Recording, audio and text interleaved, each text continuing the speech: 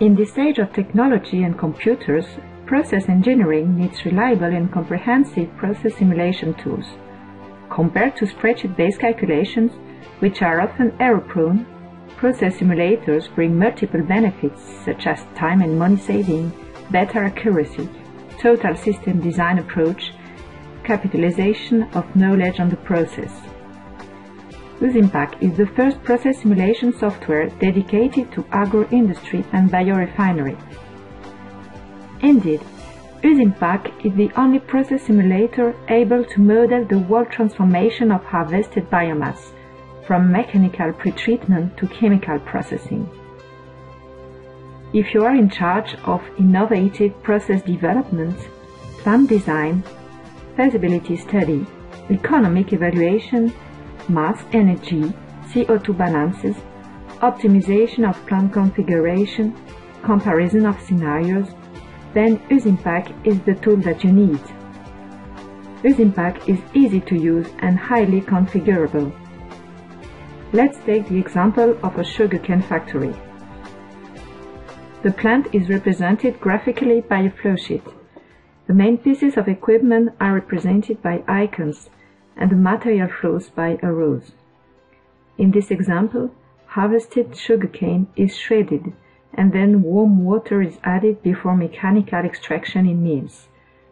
A fraction of the bagasse is recycled in the mill to extract more juice. Then the juice is heated and phosphoric acid and lime are added to remove impurities by flocculation and settling. The clarified juice is concentrated by evaporation, and after heating in a vacuum pan, the sugar is produced by crystallization followed by centrifugation. Here, two phases are considered to model the processed material, the juice and the insolubles. As you can see, USIMPAC is very flexible in terms of material description and you can describe your material in the way that best fits to your specific case. To run a simulation, you don't need to provide all the thermodynamical properties of your materials, particularly difficult to get for biomass-derived materials. You model only the phenomena you need to take into account. Each equipment is associated to a mathematical model in which material transformation and power consumption are calculated. For example, at the phosphoric acid addition step, the desired phosphoric acid content in the liquid phase is specified, and the amount of phosphoric acid needed will be calculated as a function of the input stream flow rate and composition. In mechanical extraction, for example, more parameters are specified, such as the percent extracted per solid component or the specific energy demand. Chemical reactions can be simulated. For instance, here, the crystallization of sucrose is defined as the transformation of the soluble sucrose into insoluble sucrose. In addition to the package library of unit operation models for mechanical, chemical, and biological processes, the user can develop his own models. When all the equipment parameters have been specified, the composition of the feed stream is described and the simulation can be run. The material balance of the plant is immediately computed. The power consumption of the different pieces of equipment have also been calculated. The simulator can also be used to optimize the process.